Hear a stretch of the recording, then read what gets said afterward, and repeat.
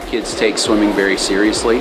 Uh, I don't have to beg and plead for them to do off-season work and to come in in shape. Know, we put in all those weeks of work and we get through all those dual meets, and when you finally get to those championship meets, uh, that's where all that hard work pays off.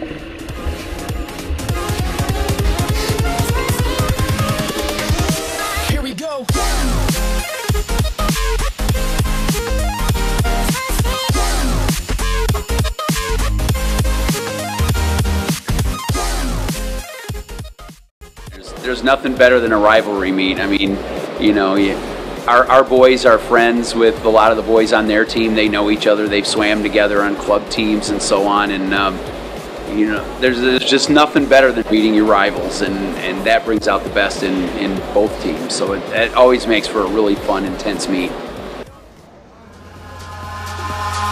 Eyes in the sky, gazing far into the night. I raise my hand to the fire, but it's no use, cause you can't stop it from shining through.